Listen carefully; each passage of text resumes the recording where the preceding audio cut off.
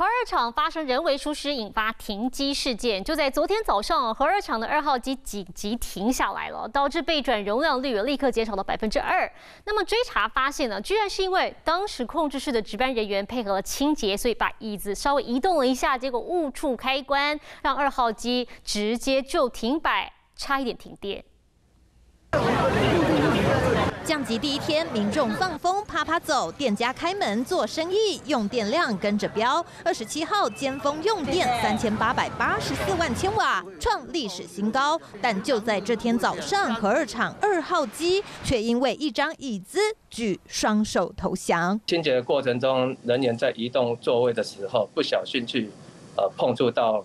那个亚克力护护罩。那护亚克力护照去压到那个开关，值班人员移动椅子却误触开关，装置容量有九十八点五万千瓦的二号机直接停摆，被转容量率立刻减少百分之二。刚好这天用电量又大增，但是却没有民众收到分区停电通知，怎么回事？午后的尖峰的时候是由光电撑起了这个用电上面的需求，太阳下山以后。那主要就变成是可以由这个水力发电电来撑起这这上面这个光电慢慢变少的这个差距哦，所以